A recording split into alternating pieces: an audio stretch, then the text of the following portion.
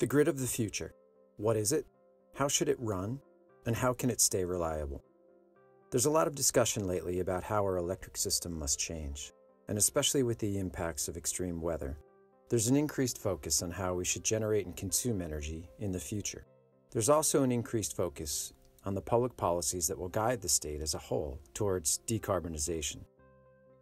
For well over a century, electricity has made vital contributions to the growth of the U.S. economy and the quality of American life. And while this remarkable system of systems will continue to serve us well, risks from climate change and demands for a cleaner energy system mean that the grid in New York faces serious challenges over the next two decades. Challenges that will demand the intelligent use of new energy technologies and the adoption of new regulatory policies. I see a dramatically decarbonized grid um, by 2040. So you're going to see many more renewables, many more carbon free resources on the grid. In addition, you're going to see more distributed energy resources, um, i.e., rooftop solar and other resources located at, on the distribution system that are aggregated. There are a lot of changes uh, that will have to happen, um, but um, these changes um, are also really exciting to see because uh, they'll result uh, in a much cleaner grid than the one we have today. Welcome to the Grid of the Future, a new video series by the New York Independent System Operator, where we'll look closely at the changing electric industry and ask hard questions about what it will take for New York State to achieve its clean energy and decarbonization targets while maintaining system reliability. We'll also examine closely the impact of the many changes happening today to our power system. This is Episode 1 State of the Grid.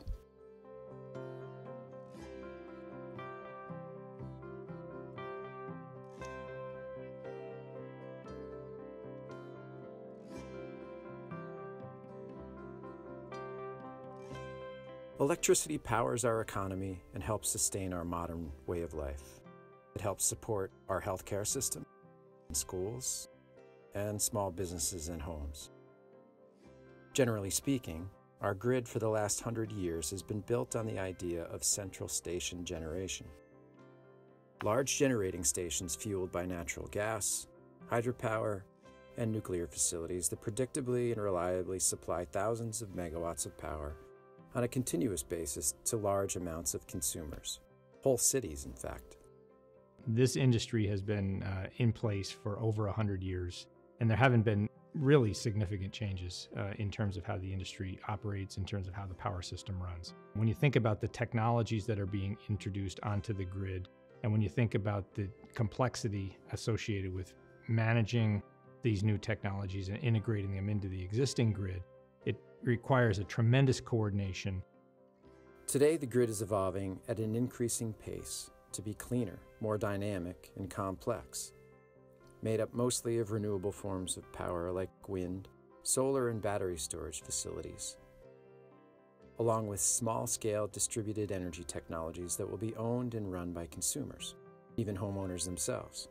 This kind of change provides as many challenges as it does opportunities. Our objective is to use the tools at our disposal, our processes in place to maintain reliability, to support our markets, to help New York State achieve these policy goals that they have for energy, but do so in a way that maintains reliability and market efficiency for consumers. With extreme weather and a changing climate, the advancement of renewables will subject our future grid to the whims of Mother Nature more frequently.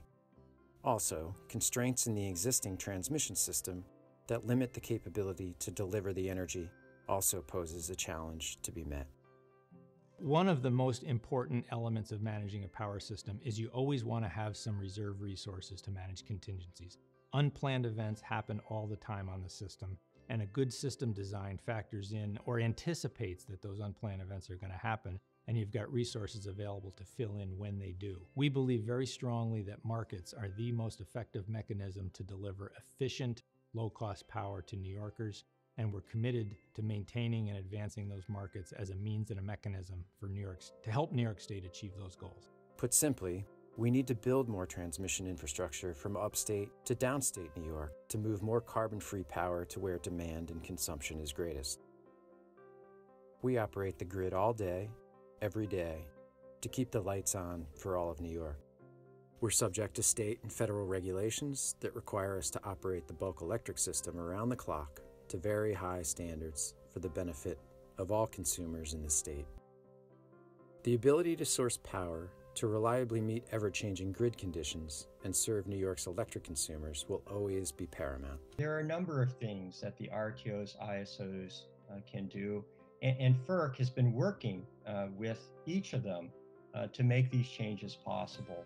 One is more uh, efficient uh, price formation uh, so that flexible resources are compensated for the value they provide when they provide it. Uh, another is having uh, more transmission uh, so that resources can be accessed when they're needed by the grid.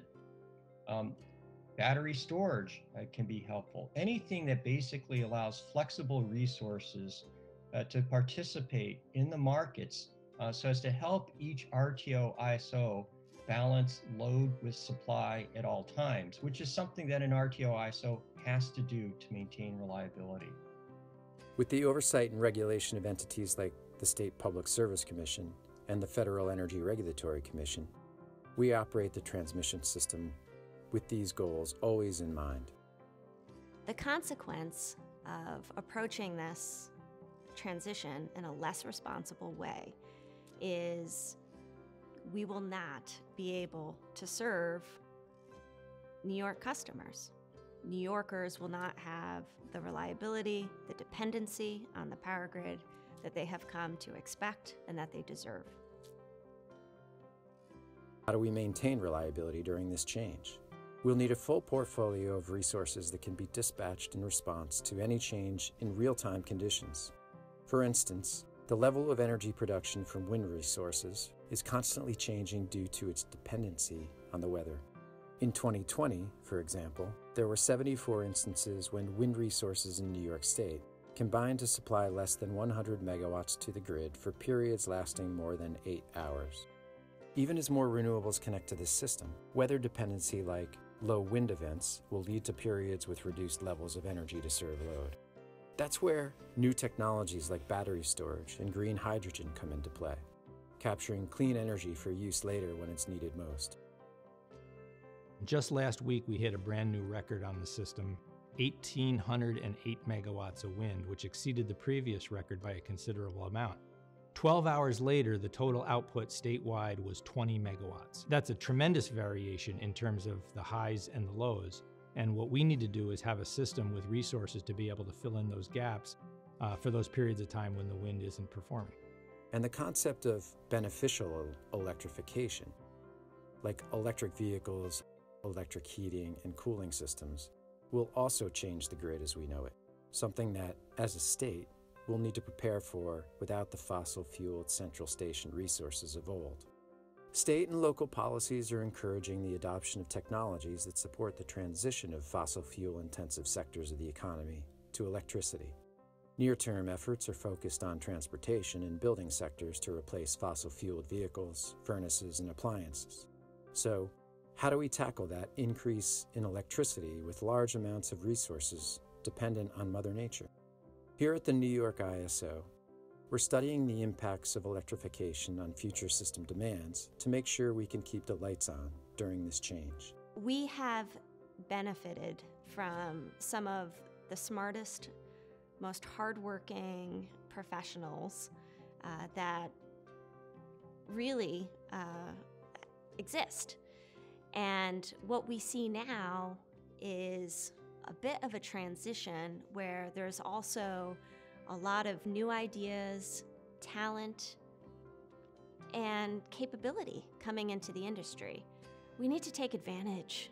We need to really maximize the potential of all of that uh, in order to manage through the transition.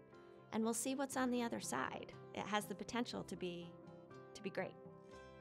And that's the big takeaway. The amount of change we're embarking on is as massive as it is essential.